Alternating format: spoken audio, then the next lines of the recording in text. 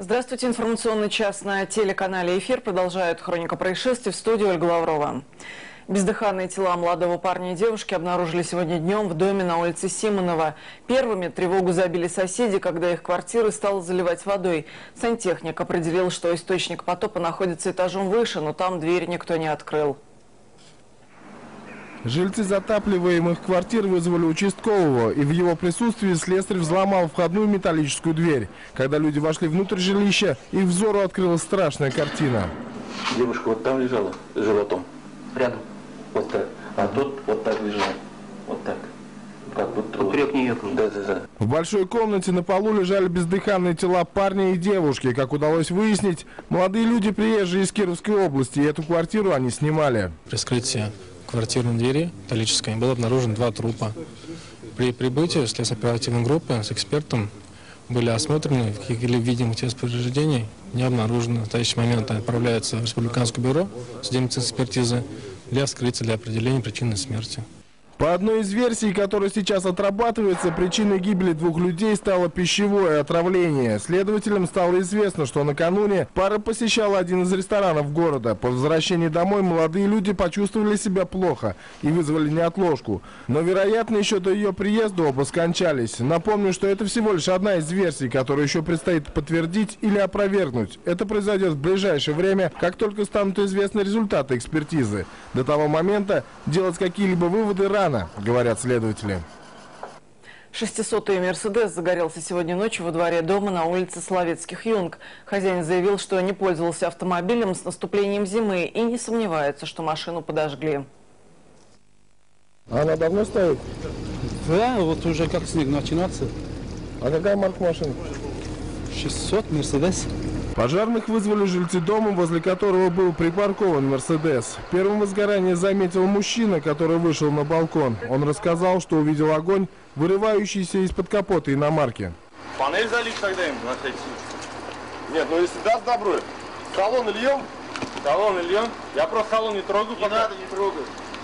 Пацаны, давайте чуть подождем, а? Ну и тогда пытайся хотя панель как-то открыть. А панель невозможно открыть. Компакт стоит, это же, какой? Пожарным не составило труда потушить огонь. Как они говорят, судя по повреждениям, очаг возгорания находился снаружи автомобиля. Сами хозяева Мерседеса уверены, что их машину кто-то поджег. Ну тут аккумулятора нету. А что может быть? А замыкание не будет отправки, правильно? Если аккумулятор был бы, думаю, целый лето зима стояла, вот, уже стоп.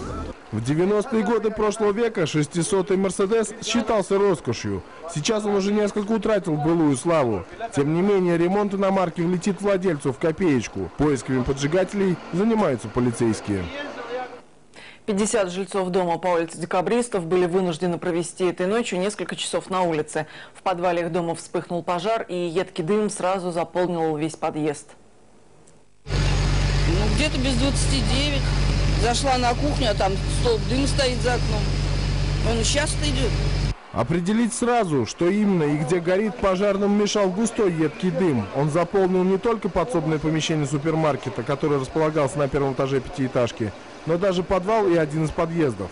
Там вообще там дым, невозможно же туда пройти. Попробовали, да, пройти? Да, там сразу все это, туда задохнешься. На поиски очага возгорания пожарные отправлялись, надев дыхательные аппараты, боевыми звеньями по несколько человек. Сложная планировка помещения затрудняла их работу.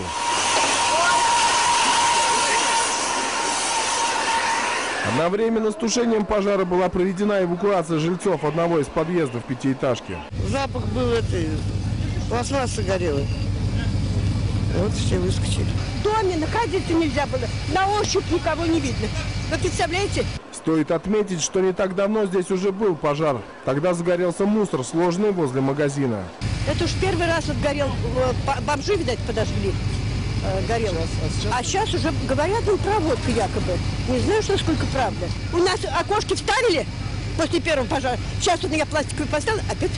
Вы представляете, что творится? Горит полностью все. Как выяснилось позже, в подвале горело Старое сложное там на хранение. Площадь пожара составила 20 квадратных метров. Как только очаг был обнаружен, он считанные минуты потушили, но жильцам Хрущевки пришлось еще некоторое время провести на улице, в ожидании, пока их квартиры полностью проветрятся от дыма. Что стало причиной пожара, сейчас выясняется.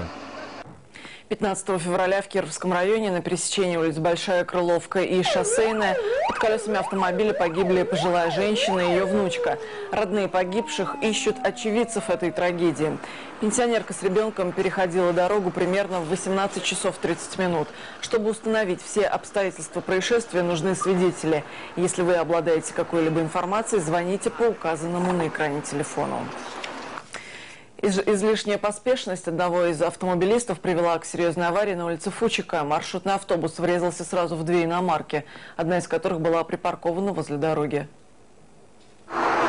Как рассказал водитель автобуса, он двигался по улице Фучика в крайнем правом ряду. В какой-то момент слева его обогнала Тойота. Еще через мгновение произошло нечто, чего мужчина, управлявший Хайгером, не ожидал совсем. Тронулся с остановки с Кулгали.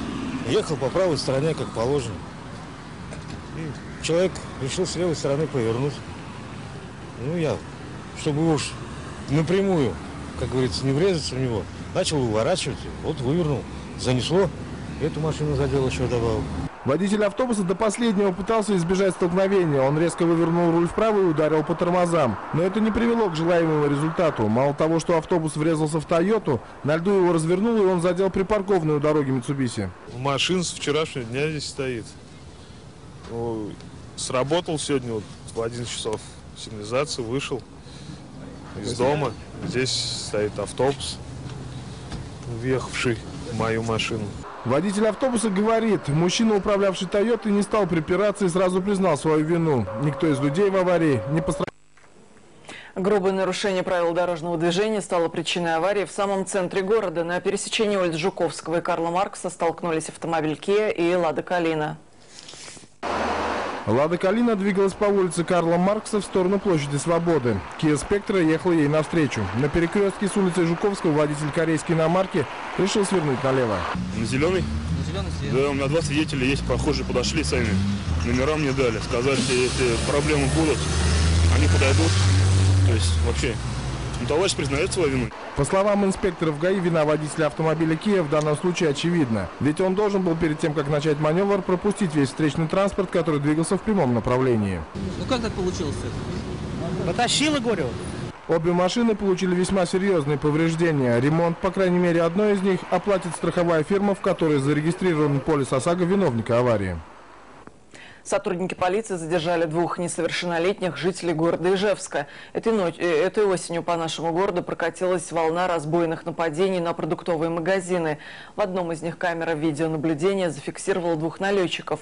Их арестовали в тот момент, когда они планировали очередное нападение. На днях дело удмуртских гастролеров было передано в суд. 2 ноября 2011 года данные лица были задержаны в Московском районе возле ювелирного магазина, на который они также собирались осуществить э, разбойное нападение. Данными лицами оказались несовершеннолетние. В ходе предварительного расследования признались и преступлениях, совершенных в городе Ижевске, а именно грабеже и разбое. Каждый день мы рассказываем об опасностях жизни, чтобы с вами такого не случилось.